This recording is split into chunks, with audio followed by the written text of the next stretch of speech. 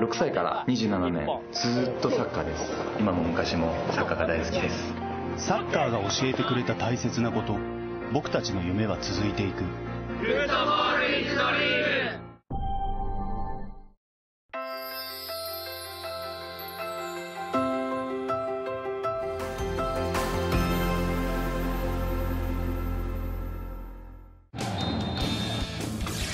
高円宮杯 JFAU18 サッカープレミアリーグ。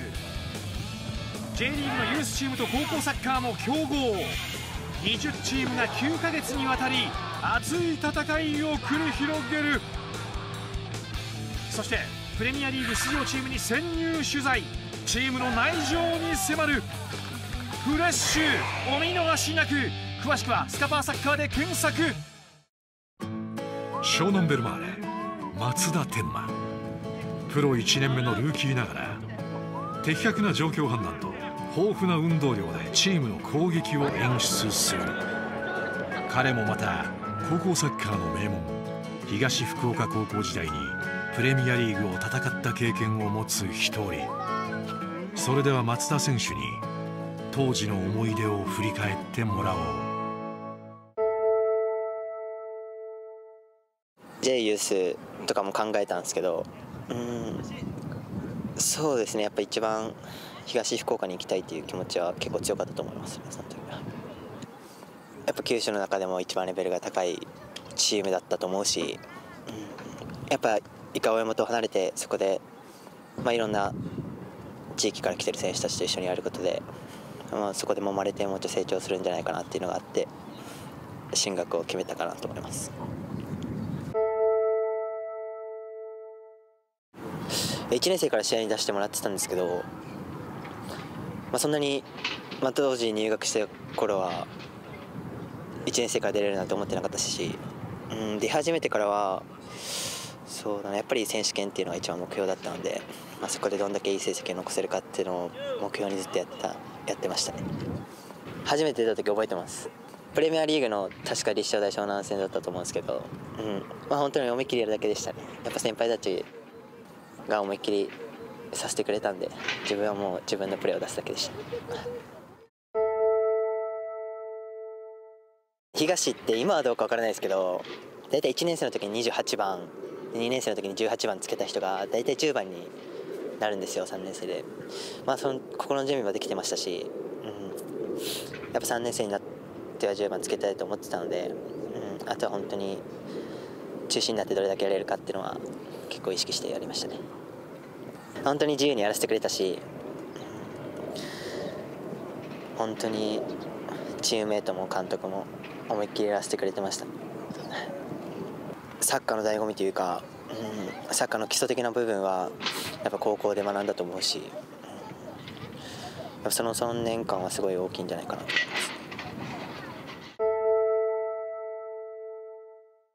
プレミアリーグなんですけど、うん、印象深いというかすごかったなっていうのがあります2年生の時のヴィッセル神戸戦とかは結構印象深いですね。いや本当にヴィッセルは1個でタレント揃いだったし、まあ、多分6-0とか5-0ぐらいで両方負けたんですけどホームもマウェイも。いやその時の印象は結構強いですね。プレミアリーグレベル高いんで、まあ、必ず中心選手であるような選手が1人いるので、まあ、その人とか、ま、結構意識し合ってやってたんじゃないかなと思います。湘南でいうとやっぱ健太とかもいたしやっぱ将来やっていくんだろうなっていう思いでプレーやってましたね。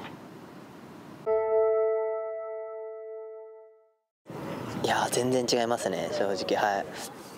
やっぱ JS チームうまいですし、うん。まあ、どうしてもやっぱ守備になってたと思うんですけど僕らの時は、うん、その中でやっぱり